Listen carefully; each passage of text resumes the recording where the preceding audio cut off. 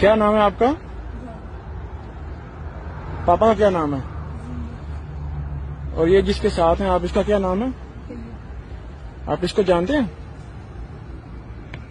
इसने यूनिफॉर्म पहना हुआ है मोटरवे का। अभी इसके खिलाफ करने लगे हैं कार्रवाई। और आपकी मामा से रबता हो गया। आपने खुद ही बात की है ना, वो आ रही हैं आपको लेने के लिए। और आपको उनके हवाले कर रहे हैं। और इसको लेके हम थाने जा रहे हैं। ठीक है ना? क्या नाम है आपका?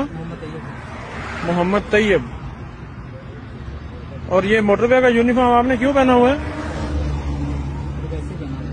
वैसे ही पहना हुआ है। तो आपको आइडिया नहीं है कि ये जाली अपना पुलिस अफसर बनना या सरकारी मुलाजम बनना ये कानूनन जुर्म है?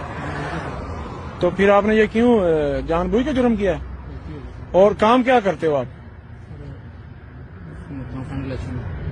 फाइन कलेक्शन कौन सा मतलब बैंक वाली गाड़ी। बैंक वाली गाड़ी? ठीक है जो वो प्राइवेट होते हैं कॉन्ट्रैक्टर उनके साथ काम करते हो? तो ये किसने दिया आपको यूनिफॉर्म है। किधर का? वो पड़ेगा नालापुर। कौन सी बीट में ड्यूटी करता है? बीट वन फोर में? शाहिद कोक है।